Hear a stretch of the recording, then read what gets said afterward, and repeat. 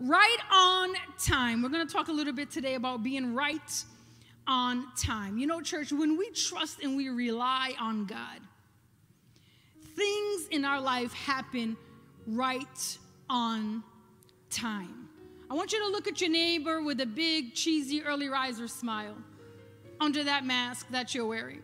And I want you to remind that neighbor, my God's never late. He's punctual. Hallelujah. Let's open our Bible to the book of Habakkuk. Habakkuk. Habakkuk. Habakkuk. Prophet Habakkuk. After Nahum, did I make that worse for you? Before Zephaniah, one of those small books. Habakkuk. Are we there?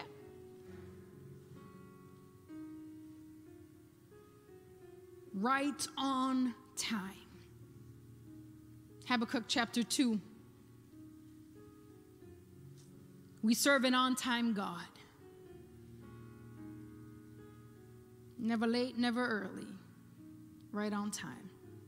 Lay your hand on chapter 2 of Habakkuk. Father, in the name of Jesus, we ask you this morning, Lord, that your word will fall into good, fertile ground. Cultivate the ground of our hearts this morning and open our minds and our hearts to receive your word, oh God. Let us be doers of your word and not just hearers of your word, oh God, so that we can experience your power and bear fruit for your honor and for your glory. And every early riser say, Amen. Amen. Habakkuk 2 2. Right on time. Then the Lord answered me and said, Are we there? Write the vision and engrave it plainly on clay tablets so that the one who reads it will run. For the vision is yet for the appointed future time. It hurries toward the goal of fulfillment. It will not fail. Say, it will not fail. It will not fail. Even though it may delay, wait patiently for it because it will certainly come. It will not delay. It may delay in your eyes, but in God's eyes, it's right on time. The Lord speaks to prophet Habakkuk. Habakkuk speaks to God and is talking to God, and then God responds to Habakkuk and he says, Write down the vision. Write it down, jot it down. Write down the vision that I'm about to give you. Now, I'm here to ask all of us here, including myself, what has been the vision that God has given you? What is the vision? What is the dream that God has given you? What is it that God has deposited in you? What are you believing God for? What are you believing God for? Because your vision is not the same as the person at your right or your left's vision, or the one before you or behind you. Your vision is your vision. My vision is my vision. Amen. So God tells the prophet, He says, write down the vision. Write it down. Jot it down, people of God, and pray over it so that the adversary will have no choice but to run from it. Because if you believe it enough to write it down, and if you believe it enough to pray over it, then you're believing it enough so that the enemy and the adversary can lose his power over that vision that you're praying for. Amen. Write it down, jot it down, for there is an appointed time. There is a set time. There is a designated time. There is a scheduled time set in order by God in which that vision shall come. Say it shall come. Look at three people say it shall come, shall come, shall come. Look at three more people say it will come. It will come. It will come. It must come to pass. Jot it down. Write it down so that you can read it every day, so that you can remind yourself every day what I have deposited in you and pray over that thing. Because in due season, come on, in due season, you will reap if you do not give up on that vision. If you do not stop praying on that vision. Hallelujah. I'm here to tell you that there is no devil in hell that can stop the vision of God from coming to pass in your life if you don't let him. If you don't let him. Now, if you let him, that's a whole different league of, of preaching right there. But if you know who you are, and you know whose you are, and you know what God has deposited in you, then you're gonna jot that thing down. You're to pray over that thing and you're to keep on praying until you see that thing materialize in your life. The Word of God says, It shall not fail. It shall not fail. What does it say? It shall not fail. It will certainly come to pass. It will not delay. You see that? For the vision is yet for an appointed time. It hurries towards the goal of fulfillment. It will not fail. Jeremiah 29 11 says, God has a plan for you, a plan, a vision for you, one of good. To do you good and not to do you evil, to give you hope in a future. The plan of God for you is good. The vision that God has for you is bigger than what you have for yourself. Hallelujah. God has a plan. Look at your neighbor say, God has a plan for me. And it's coming right on time. Come on, it's coming right on time. It may not be my time, but it's coming right on time. It's going to arrive right on time. It's going to come right on time. Come on. So you got to position yourself. You got to hold up your head. You got to stand like you're ready for it. Hallelujah. You got to keep your heart clean. You got to keep your head up. You got to keep on trusting God.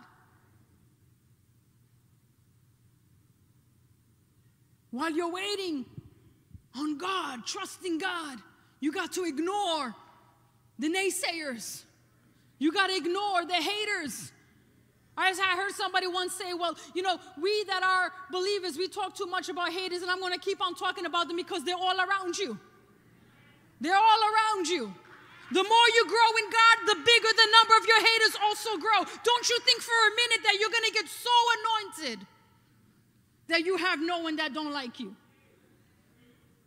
If you read the life of the prophets and even the life of Jesus himself, you see that they had a whole leap of them all around them, watching them.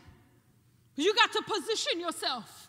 If you know that you know that you know that God has deposited a vision in you, my question to all of us here today is what is that vision? What is that dream? And don't limit your God.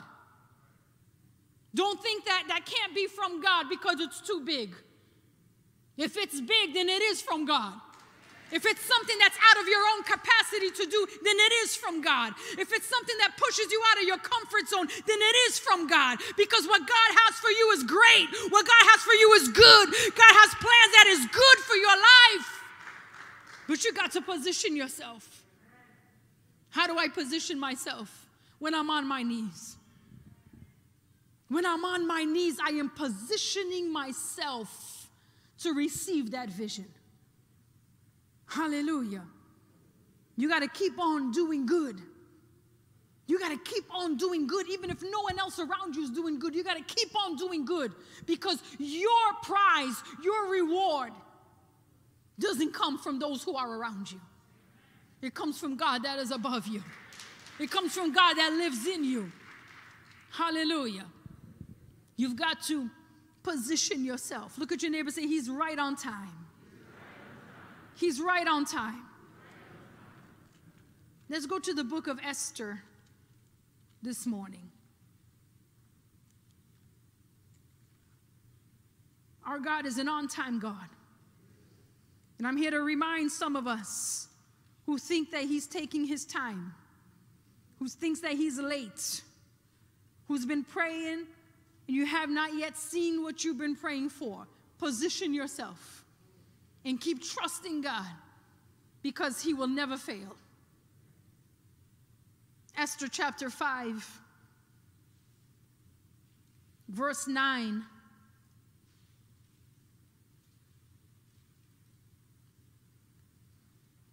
Haman went away that day joyful and in good spirits. But when he saw Mordecai at the king's gate refusing to stand up or show fear before him, he was filled with rage toward Mordecai.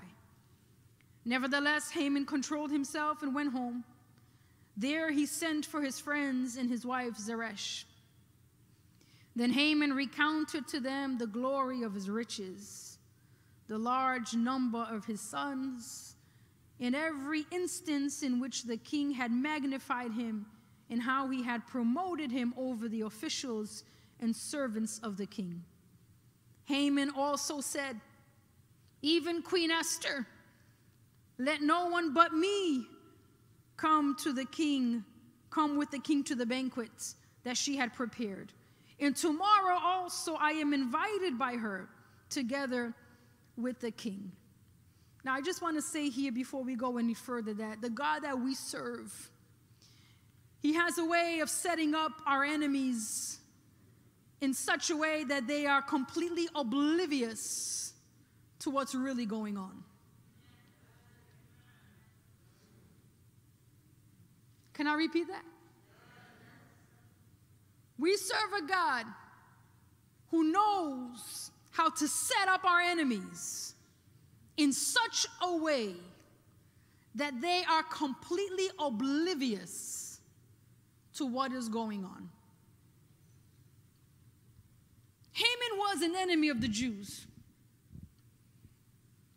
The Word of God tells us that Haman hated the Jews with a strange passion. And with the talk that he had, the smooth talk that Haman had, and being close in the king's court to the king, he found a way around tricking the king into signing an edict to do away with the Jewish people, to annihilate the Jewish people. Though the king did not know what he was signing or didn't know what Haman, who Haman was referring to, he gave Haman the power, he gave him the signet ring and gave him the power to write it into law. And we know that back in those days, the Persian law, once it went into law, there was no revoking the law. So Haman, hating the people of God, so much and wanting to see the people of God gone from the face of the earth, came up with an idea of setting a date to annihilate every Jew that lived in the province of Susa and beyond. In every province that King Xerxes was in control of. So the date was set. And the Word of God says that when the Jews heard of the edict because it was blatantly plastered in their neighborhoods, that they got together, Mordecai with them, and they began to fast and pray. They went to Queen Esther. They found a way to get to Queen Esther and tell Queen Esther what was going on. And she asked them to fast and pray for three days. And while they fasted and prayed, they were trusting God. They had positioned themselves because they knew there's no way that God took us out or allowed us to come out of our country to come here so that we can all be annihilated in a foreign land. All of us here, no matter what generation we are, we come from foreign land. Every American comes from somewhere. Hmm? And we all came here for what? A better life, prosperity, being able to help our family, to give our family what we didn't have back home. That's the story of every American, no matter where you come from. Yes? And so it was also with the Jewish people because everywhere they went, God blessed them. Foreign land, home, God was with them when they turned to God. But the edict had went into law and there was no way they could change it. It was law and that was the day that they were going to find annihilation.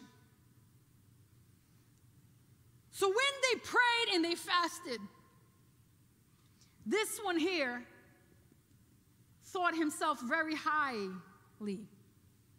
He became filled with pride. After all, I'm Haman now. I'm the king's right man. I give the king orders in a way that he thinks it's advice. You got to be careful who you hear and who you listen to and who's in your circle. Remember what I tell you all the time your circle got to be tight, it's got to be small. Are you with me? So this day, Queen Esther had called for a banquet.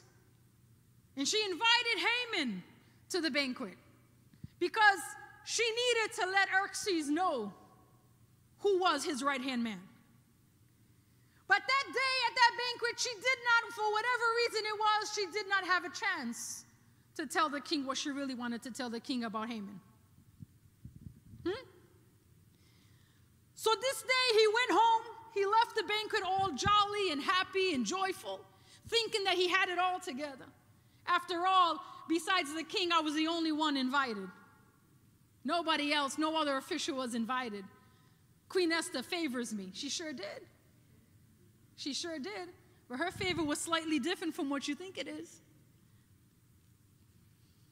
Listen,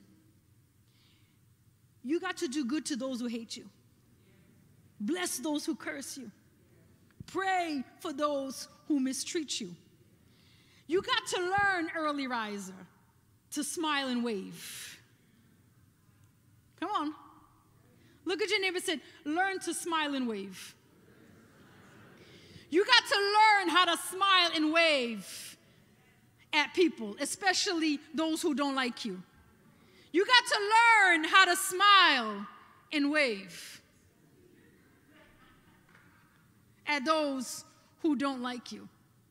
You got to learn how to treat those who treat you bad good. Not because you're a fool, but because you know what they're up to. And you're bigger than them.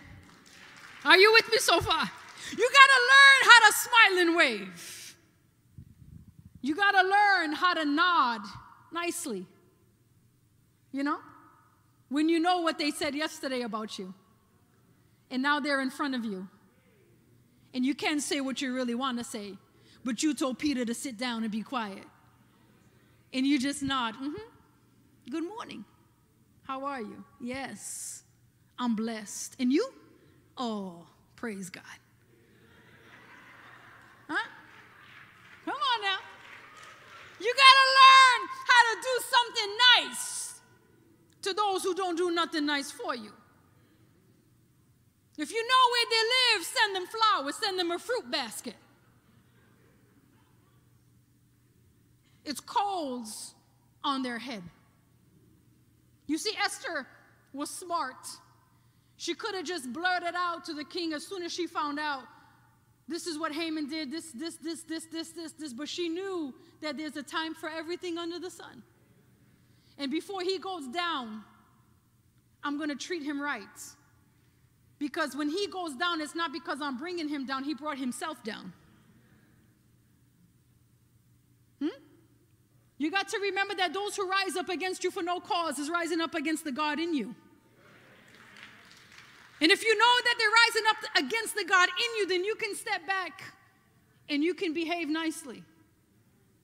You can be nice to those who are not nice to you. It's, it's actually possible. As the Spirit of God lives in you, the Spirit of God will lead you to do that. Because our justice comes from God. So he left the banquet and he was so happy and he was so jolly. And when he got home, when he, when he left, he saw Mordecai. he saw his enemy there. And when Mordecai saw him, Mordecai stood. And didn't pay him any homage as everybody else did. Because Mordecai knew what he was up to. And Mordecai knew the God that he served. Mordecai understood that I will not bow to anyone but my God. So when Bible says when Haman saw Mordecai raged, filled him up. But he didn't want to make a scene right there and then, so he left and he went home. And when he got home, he began to just talk about all that he had and the number of sons that he had and all the riches that he has. You got to be careful with people that talk like that, you know. People that lack humility is not somebody for you to hang with. You got to see who you hang with. Because if you hang out long enough with them, they can rub off on you. So the word of God says that he was in his house and he was talking about his riches and talking about this and talking about that. And he said, even Queen Esther didn't invite nobody but me to the banquet. Now I'm special. You sure are, man. And the word of God says, verse 13, Yet all of this, and he continued to say, Yet all of this does not satisfy me as long as I see Mordecai, the Jew, sitting at the king's gate. Then his wife, Zeresh, and all his friends said to him, Have gallows 50 cubits high made. And in the morning ask the king to have Mordecai hanged on it. And then go joyfully to the banquet with the king. And the advice pleased Haman so he had the gallows made. Take heed the advice that you listen to. You got to be very careful, early riser.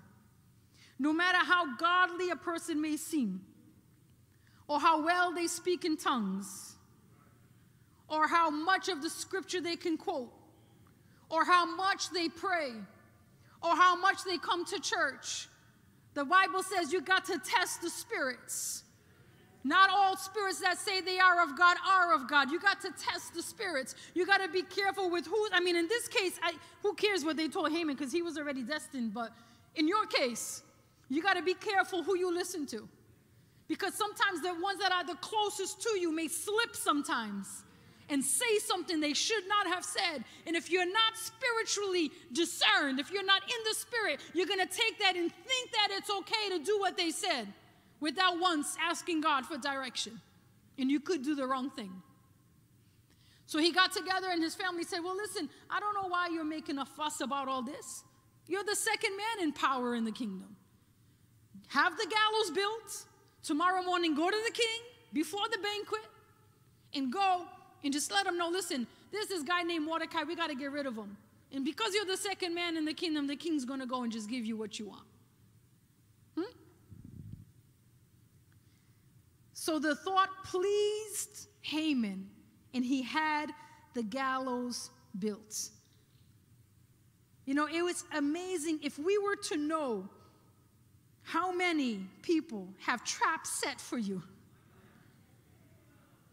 If God were to right now open our understanding so that we can see how many people are really for you and how many are not for you, that'll change our prayer life. That'll change our prayer life. Right away, Haman went and he built those gallows. Chapter 6, verse 1.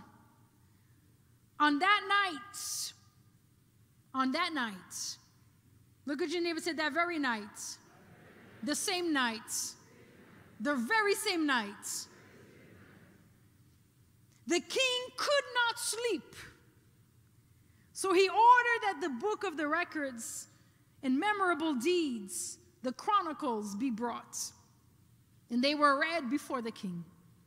And it was found written there how Mordecai had reported that Bigtha and Teresh, two of the king's eunuchs, who had who were doorkeepers, had planned to attack King Xerxes. And the king said, What honor or distinction has been given to Mordecai for this? And the king's servants who attended him said, Nothing has been done for him. Church, let me just tell you something. Don't try to exalt yourself when you think that you ought to be exalted. Wait on God for everything. If you did a good deed and you didn't get a thank you or a recognition, don't worry. And don't try to make your deed known to others so that you can be recognized by others. Let it be so. And let God, like they say, take the wheel. Amen? Because He's an on time God. You see, when it happened back in the days, when Mordecai overheard the two eunuchs planning to kill the king, he went straight ahead and he reported the two eunuchs. and they were found guilty and they were killed. But no honor was given to Mordecai for that. And you know that usually when something like that happens, you're honored. You're given a, a, title or you're given a certain position. But Mordecai didn't receive any of that, and that did not change Mordecai's nature. Mordecai still continued to serve the king at the king's door still continued to be faithful at the gate, still continued to do what he was called to do, even though he didn't receive the recognition that he thought he should have received. But our God is an on time God. Our God is an on time God. There was a reason why he did not receive that recognition. Maybe some of you are working so hard in your workplace and you feel like you don't receive recognition for your hard work. You don't receive a thank you for your hard work. Lord, have mercy, you haven't even received a raise in how long for the work that you do? But God is an on time God. God sees your work, God sees your heart, God sees your sacrifice, and He's faithful. He will come at the right time. Hallelujah. So the word of God says that very same night, look at the timing of God. That very same night that Haman had those gallows built, God tormented the king in his bed. God said, All right, you're building it there, let me get you here. The king could not sleep. He tossed and he turned and he tossed and he turned. And God did not allow the king to rest until he called in one of his men to bring in the chronicles to be read. And out of all the chronicles that King Xerxes had, what chronicle came up? Mordecai's. Come on now. Mordecai's chronicle. The story in the history of what Mordecai did. And the king is sitting in his bed and he's listening to what Mordecai did. And then all of a sudden it comes to him. What did we do for Mordecai for this? Did we ever honor Mordecai for this? What was Mordecai's reward for saving my life? And the scribe answered the king. He said, Nothing was done for Mordecai. And the king thought to himself, Nothing was done for Mordecai. Our God is an on time God. He will shift things on your behalf, He will work things out in your direction. He will move what he needs to move, replace what he needs to replace, do what he needs to do in order to see that you are where you ought to be. Are you with me? Hallelujah. So the word of God says, he could not sleep at all. So he sent for the scribe. The scribe read it what honor and distinction has been given to Mordecai for this? And the king's servants who attended him said, Nothing has been done for him. So the king said, who is in the court? Now, Haman, come on now, had just entered the outer court of the king's palace to ask the king about hanging Mordecai on the gallows which he had prepared for him. And I'm telling you, they're vicious. Your enemies are vicious, but your God is bigger. Your enemies are evil, but your God is good. Your enemies plan, but your God makes a way out. He wasted no time. Early at the crack of dawn, there was more. There, there was Haman at the court of the king. I got to get this thing over with before I go to the banquet. I can't go to the banquet knowing that, that, that, that Mordecai is still sitting at that gate. How wicked can you be?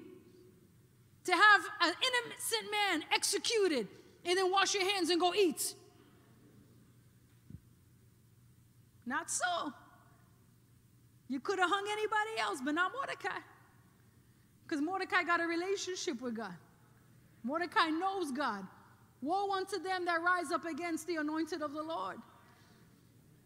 This is why I tell you over and over and over again your business is not trying to figure out what people are saying about you. Your business is not trying to figure out what they're doing against you. Your business is to live your life, serve God, be happy, smile, wave, have a good attitude, and let, listen, just let it fall wherever it may fall. Because the more you focus on them, the stronger they become. But the more you focus on God, the stronger you become. Are you with me, church? So the word of God says that Haman came, all dressed up, ready, gallows built. And as soon as he finished reading the Chronicles to the king, the king said, Well, who's in the court? I got to send somebody out. Who's in the court? And here comes Haman.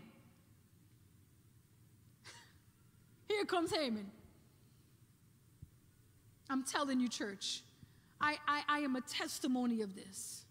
God will use the very ones who plotted against you to ra- listen to raise you up to a level that when you look down at them you see that God even used them to get you where you are today.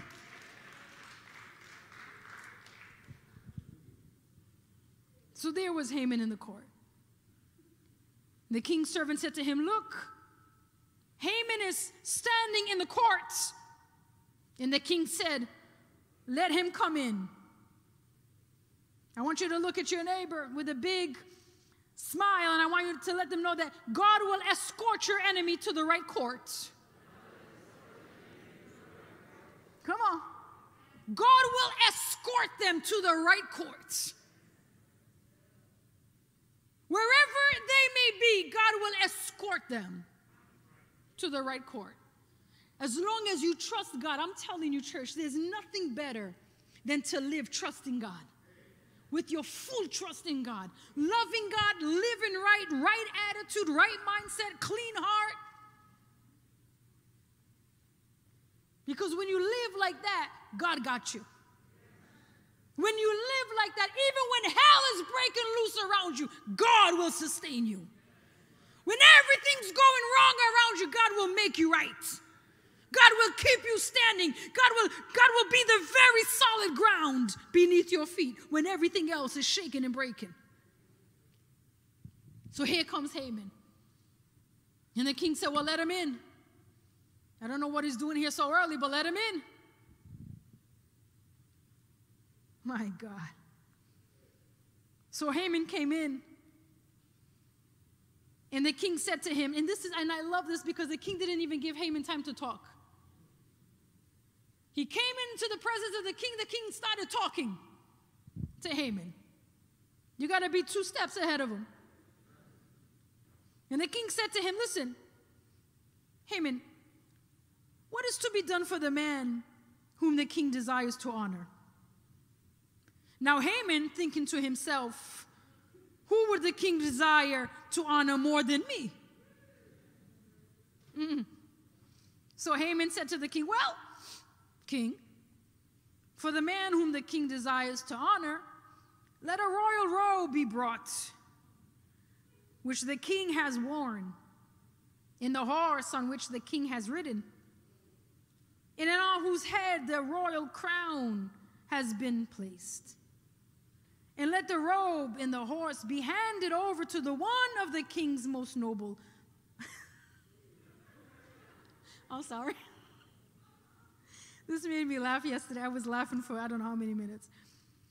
But let the robe and the horse be handed over to one of the king's most noble officials, and let him dress the man whom the king de- delights to honor in the royal robe, and lead him on horseback throughout the open square of the city, and proclaim with a loud voice before him, This is what shall be done for the man whom the king desires to honor.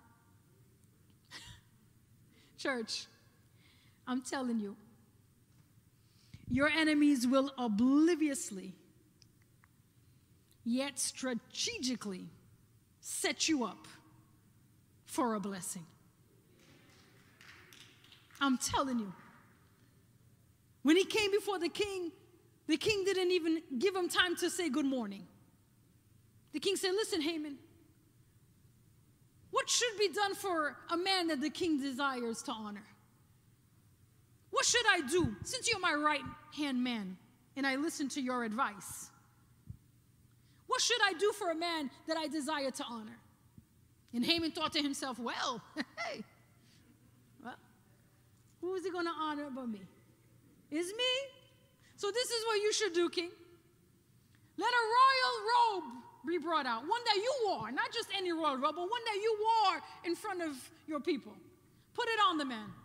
Put the man on your royal horse, the one that you ride. And let that man just be walked around with the horse around the city, walked by a very important noble of yours.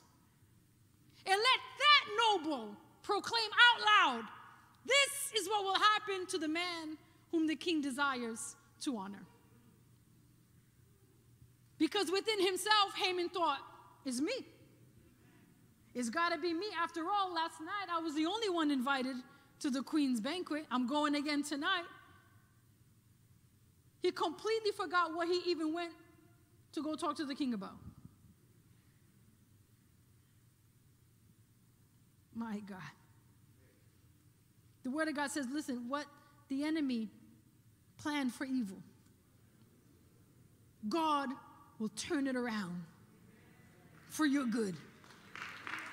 How many in here and watching you can testify of times that your back was against the wall and you didn't know how you were coming out of it?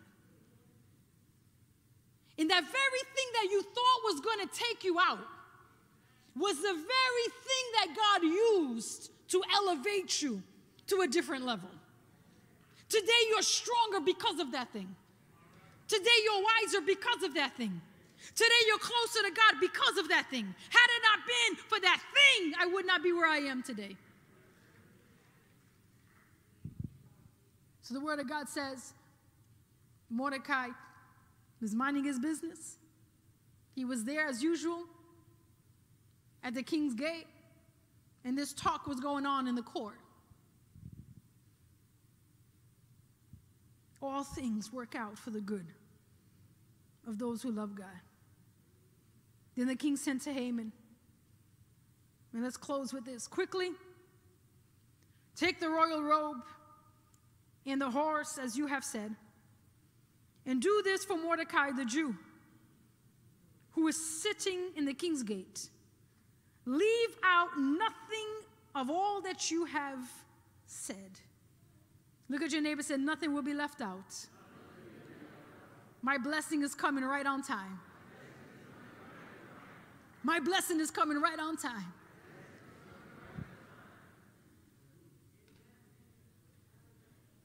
The king heard what Haman said, and he said, All right, quick, quick, quick, quick, quick.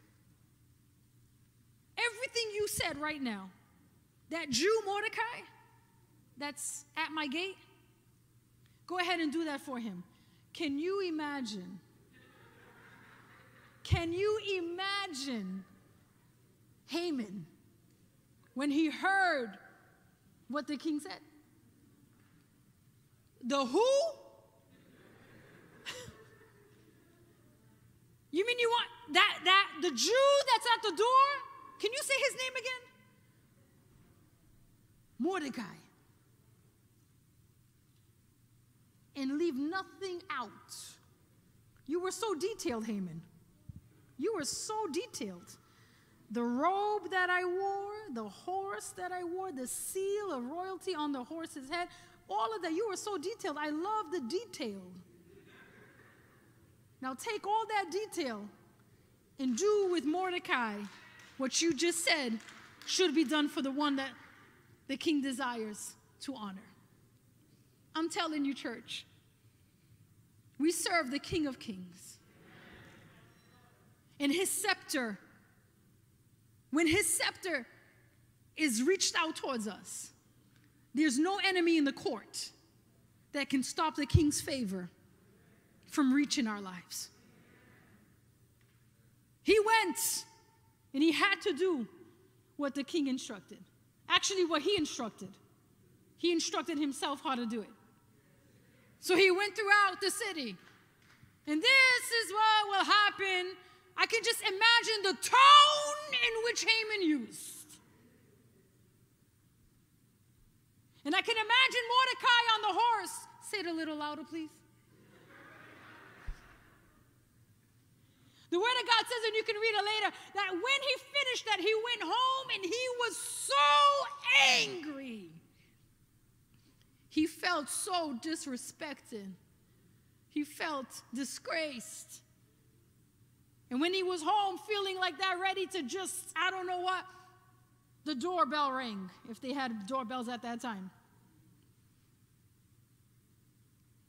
And it was a servant from the palace saying, Hey, come on, the banquet. Queen Esther's waiting. Oh, well, at least I'm still in favor with the king. So you think. And if you continue reading, you see that he went to the banquet. The second banquet that she did, she spoke to the king about it. As soon as she told the king, the king's fury rose against Haman. And Haman knew exactly what was going to happen to him. And the very same gallows that Haman built for Mordecai, the king ordered that he be hung on it. I'm here to tell you something, church. Time only goes forward. It makes no sense for us to be wallowing in, in, in stuck on yesterday or last week or last month or last year. Time only goes forward. So I'm here to tell you that it doesn't matter what happened back then. You got to focus on your life going forward. And you got to keep your heart clean. You got to keep your eyes fixed on God and stop worrying about what people are saying and doing against you. Because the more time you focus on that, it's less time that you have to fulfill your mission, to fulfill your purpose. If the enemy can frustrate you and cause you to lose time, then he's got you where he wants you. Do you understand what I'm saying to you? Time only goes forward. Whatever they're plotting, it'll fall on their own heads. I'm telling you right now. Whatever they're saying is going to be proven wrong. I'm telling you right now. So you cannot waste your time concerning yourself with what they're doing and saying when you can be using that time fulfilling your purpose. Mordecai understood that if God can't deliver us, then nobody can. So he entered into that fast with the queen and he said, Listen, God, it's in your hands now. I'm going to keep on going to work. I'm going to keep on doing what I'm supposed to be doing. I got to be at the gate at a certain time. I'm going to keep on doing that while I'm believing you for your deliverance. I don't know how you're going to do it, but I know you're going to do it because you're an on time God and you do not fail. Hallelujah. He's an on time God and he does not fail. I don't know what battle you're facing, early riser. But whatever it is that you're facing, whether it's financial, whether it's a family problem, whether it's a physical ailment, whether it's a sentimental issue, I'm here to tell you that if you trust God, if you stand on the Word of God, if you believe that God is who He says He is and that He's always on time, you're going to continue waiting on God. You're going to continue trusting God. People can rise up against you, hell can break loose around you, edicts can come against you. You can find yourself in courts, but I'm here to tell you that the God that you serve, He will make a way where there seems to be no way. He's an on time God. He may not come on your time, but He'll come right on time time. He'll come right on time. And when he comes, I pray that he finds you in faith. When he comes, I pray that he finds you still trusting God. Because if you're still trusting God, if you're still praying, if you're still believing, if you're still jotting down the vision and praying over the vision, then you're going to see that vision happen no matter how much hell can break loose in your life. Because what's going on around you doesn't define who you are. It doesn't define who you are. Mordecai had everything to give up. Mordecai had everything to say, you know what, God, where are you?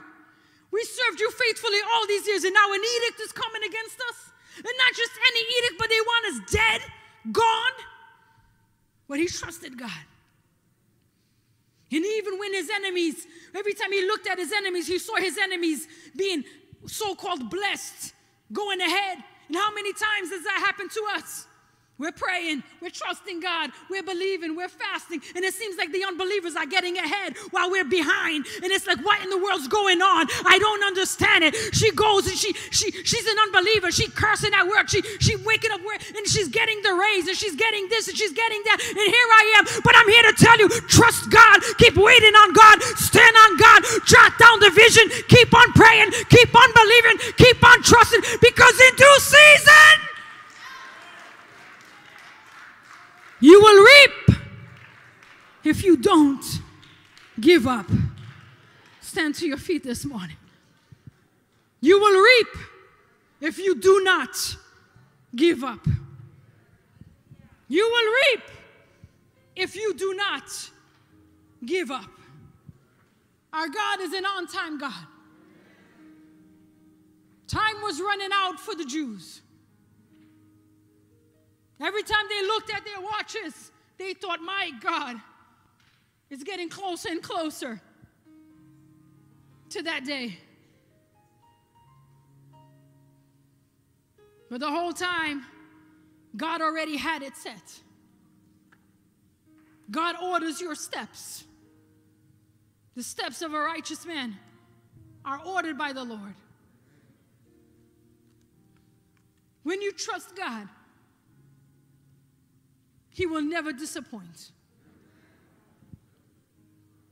The world is constantly tugging at you, constantly pulling at you. It wants your attention here, it wants your attention there, it wants your attention there. No, you got to focus on God. You got to focus on God. What do you want God to do for you? What's the vision? You have to have a vision. Without a vision, you perish. What is your vision? You can't wake up every day and just live day by day. You have to have a vision.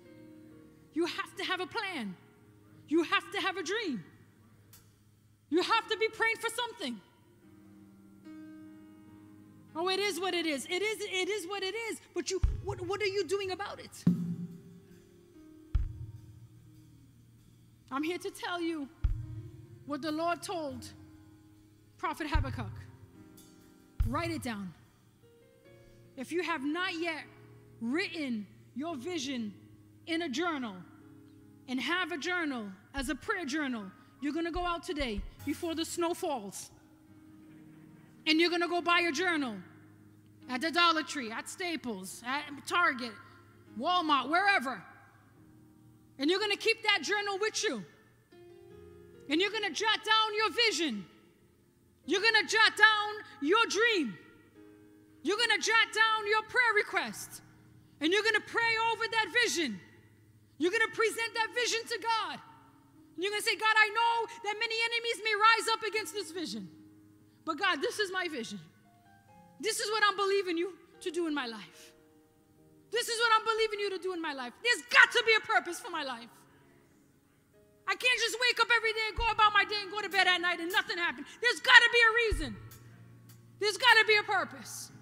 And I want that purpose fulfilled in my life. I want to live my purpose. I want to walk in my purpose. I want to walk in the power of God. I don't come to church to play church. I don't got time for that. Time only goes forward. I've wasted enough of my time. I've wasted enough months and weeks and years of my time. I'm not going back that way. 2020, I got a lot to recover. And one by one, I'm going to recover it all. I'm going to recover it all one by one. But Lord, this is my vision. This is the vision right here. And as you pray on that vision, God will drop even more things in you. And as God drops things in you, jot it down. Jot the date and the time and the hour and what it was that God dropped in you. And when you open up your, your, your prayer journal, you're going to see dates and times that God spoke to you. And after a while, you're going to go back and you can connect those dots. And you can see this day here, God dropped this into my spirit. I prayed for it, I fast for it, here it is. This connects to this one here. And then when you step back, you begin to see how everything begins to connect. But you have to have a vision. Hallelujah. Can I pray for you this morning? Can I pray for you this morning? Bow your head there, lay your hand over your heart. Hallelujah. Those who wait upon the Lord shall renew their strength. They shall mount up like eagle's wings. Lord, this is something that is many times easier said than done, easier sang than done, oh God. Especially when there's so much going on around us, oh God. Sometimes we want to force your hand in certain situations. Sometimes we even doubt whether you're giving it your attention. But Lord, we need to keep on trusting you, Lord. Keep on keeping on, oh God. My God, like Mordecai, Father, it wasn't easy. He had a huge situation before him a problem beyond his ability to solve. But he trusted in you, oh God. He, along with all the other Jews, fasted and they prayed. When there's nothing else that we can do, we can pray. When there's nothing else that we can do, we can fast and position ourselves to receive your answer, oh God. Even though situations may be bigger than us many times, Lord, they're not bigger than you.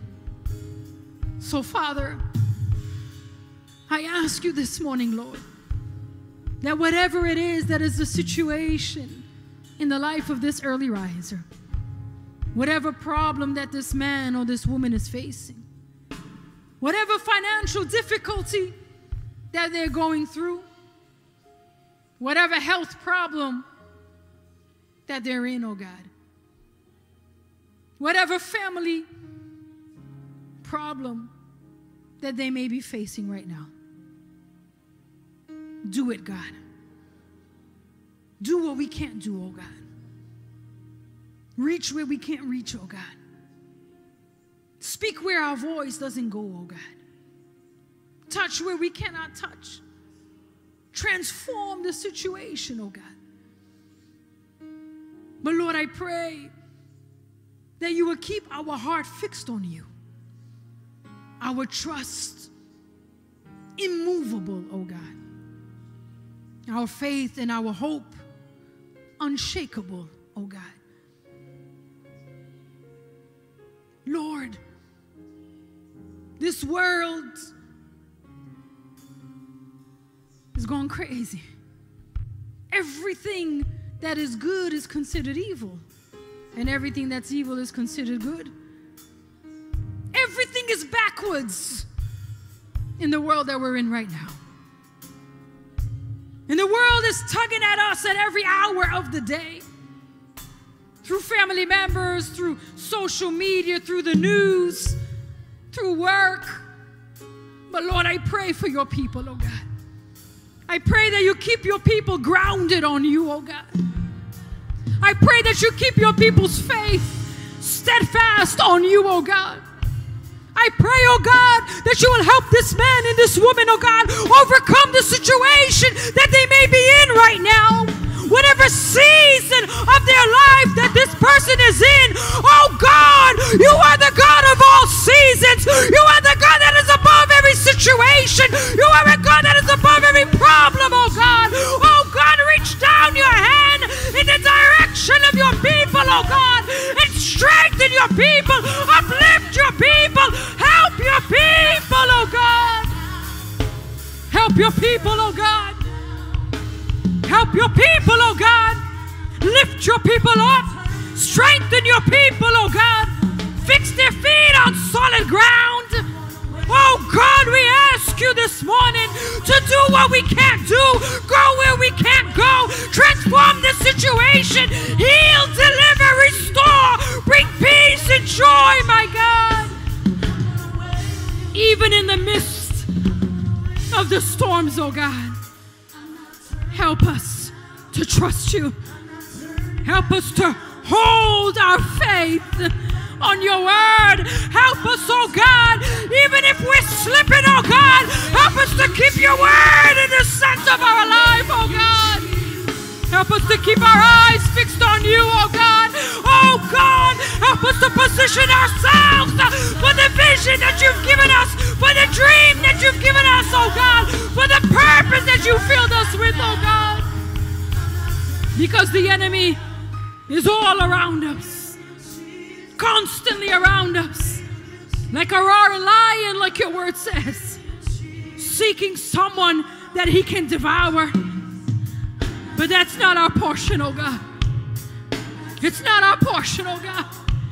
I ask you, Lord, cover every early riser, cover their families, cover their loved ones with the precious blood of Jesus and deliver every early riser, my God, from the snare of the enemy. Deliver every early riser, my God, from the trap of the enemy, oh God. Oh God, keep your people's faith fixed on you, oh God. Keep your people's hearts fixed on you, oh God. Lift them up, lift their head up. Position your people for victory, oh God. We have been called for such a time as this. There is an anointing upon your life, early riser. There is a power that has been drawn from God upon your life. There is a purpose on your life. You're here for a reason, and the reason is to glorify the name of God. It's to be the hands of God, the feet of God, the eyes of God, the mouth of God. Oh, hallelujah. So here we are, Lord. And we position ourselves, oh God, as we trust in you, oh God, to do what we cannot do. Bind every demonic spirit, every demonic force.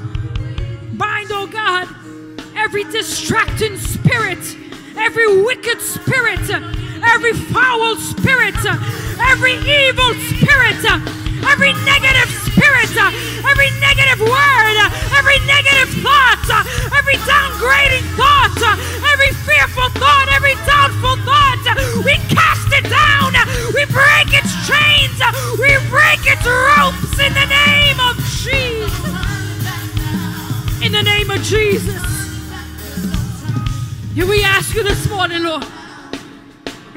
did it for Mordecai as you did it for your people back then. Do it for your people today, oh God. Because even some of us here today, consciously or unconsciously, there's been an edict placed on our life by hell. But we're here to stand against that edict and to let that edict know that the God that we serve is well able to deliver us the God that we serve is well able to keep us. The God that we serve is well able to break every edict, to destroy all the work of the enemy, to confound and confuse all the plans of the enemy against the life of God's people. I rebuke you in the name Jesus. I rebuke your work. I rebuke you in the name of Jesus. I rebuke you in the name of Jesus. We frustrate the plans of the enemy. We frustrate the plans of hell uh, against this early rise, uh, against this family, against their children, against their marriage, against their work, uh, against their business, against their plans, against their dreams, against their vision, against their purpose. In the name of Jesus. In the name of Jesus. In the name of Jesus. In the name of Jesus. We cast it down. We cast it down. We cast it down. We cast it down this morning. We cast down all the plans and plots of the enemy. All the plans and all the plots of the enemy. We cast it down. We break it and frustrate it in the name of Jesus. And we trust you, Lord. We position ourselves right where you want us, oh God. And we will continue to speak life. We will continue to speak joy. We will continue to speak peace. We will continue to speak prosperity. We will continue to speak wholeness. We will continue to speak happiness in our homes. We will continue to speak greatness upon our children's lives. We will continue to speak unity in our homes, in our marriages. In the name of Jesus, we'll continue to speak prosperity into our financial life, abundance, greatness, open doors. In the name of Jesus, we stand against every edict of the enemy this morning, known and unknown. We cast them down this morning. For greater is He that is in you, early riser, than He that is coming against you. And like Haman, many of those who have risen up against you, you shall see their downfall. With your eyes you shall see it, but it shall not come near your dwelling place. For you have put your trust in the Lord. You serve him faithfully. You love him with all your heart. And he's got you. He protects you. He directs you. He guides you. He leads you. No weapon that is formed against you shall prosper say, No weapon that is formed against me shall prosper. Say it again, no weapon that is formed against me shall prosper. No weapon that is formed against me shall prosper. For greater is he that is in me than he that is in the world. Hallelujah. Hallelujah. Hallelujah. Hallelujah. Lord, we place all that we are and all that we hope to be, all that we have, Lord, in your hands. And thank you, Lord, for your protection. Thank you, Lord, for your covering. Hallelujah. Oh, hallelujah. Our early riser, you're covered, you are protected. You are shielded by the mighty hand of God. And no weapon that is formed against you, formed against your family, formed against your dreams, formed against your vision, formed against your purpose, will ever prosper. For God Himself frustrates the plans of the enemy. Oh, hallelujah! We bless your name, oh God. We glorify your name, oh God. And we thank you, oh God, for doing what we cannot do. We trust you, Lord. Say, I trust you, Lord. I trust you, Lord. I trust you, Lord. Hallelujah. Do what we cannot do. In Jesus' name we pray. Amen and amen and amen. Hallelujah.